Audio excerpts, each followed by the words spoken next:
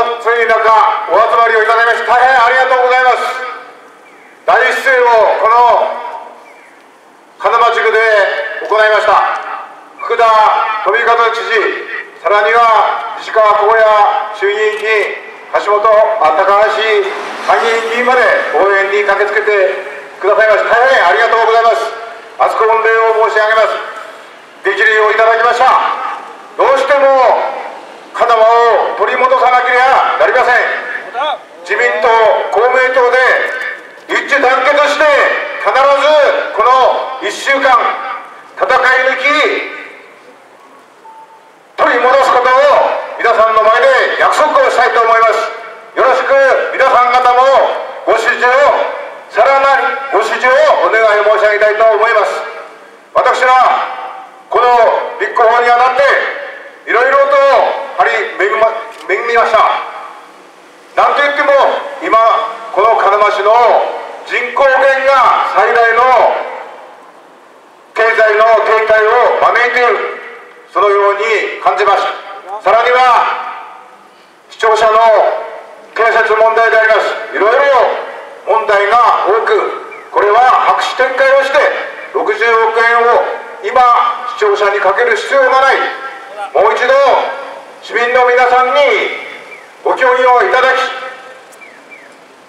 建設になるか延期になるかは皆さんの判断に仰ぐということでありますこの視聴者を白紙撤回を求めておりますさらに今市役所の改革を進めたい。このように考えています。市役所における職員の割合は真岡市に比べて1.5倍多いんです。1000人当たり金橋は9人。しかしながら真岡市では6人と3人も金橋が多いわけです。しかも今の市政では何ら新しい事業もしておりません。そうすると職員は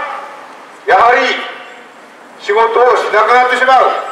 そのような状況の中でやはり市役所の改革行政改革さらには民間委託なども含め市役所の改革を進めていかなければならない。そのような概念を今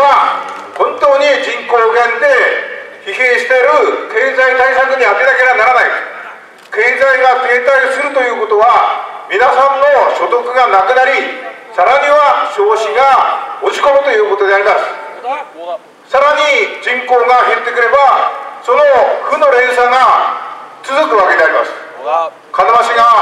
6万都市7万都市になっていいんですか皆さん？子供たちに夢や希望もないような年になっていいんですか？今あそこに掲げてあるビアを見ますとばらまき聖域屋はいらないと書いてあります。ばらまきじゃないんです。私が示している7つのゼロは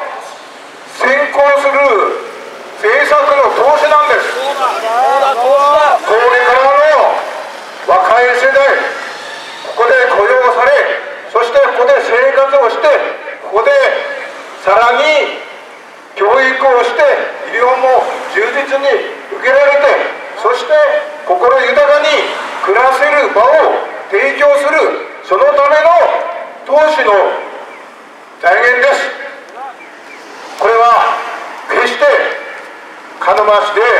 ばらまきで私が福祉事業をやるんではありません。必ず国や県でこの政策はいい補助事業として必ず改革されてくるというふうに私は確信をしています。そのための先行投資を私はしていきたい。それのためにはやはり国や県。福田知事との協調関係連携。私と福田富和知事は富富ですからね。その親戚関係にもあるんです。そのような強いパイプと国における高橋参議院議員石川耕也先生それとのパイプをさらに強くして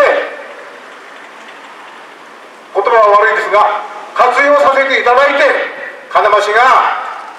他の市よりも劣らない素晴らしい金増に皆さんと共に作っていきたい。そのような一年で私は今回立候補しております。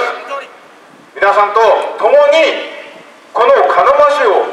変えて作っていくそのような1週間に私はこの選挙戦はしていきたいと思っています。本当に現職は厳しいあ強いです。ですから現職に勝つのは大変並大抵なことではないと自分でも肝に銘じております。どうか皆さん方のこの1週間私に力をお与えください。そして私は皆さんのために仕事をしたいんです。私利私欲が市役所職員の保身のために身分保障のためにそのような考えは毛頭ございません身を粉にして働かせてください4年間必ずこの金増が11万都市で再度輝ける都市になることを確信しております。また約束もいたします。どうかよろしくお願いをいたします、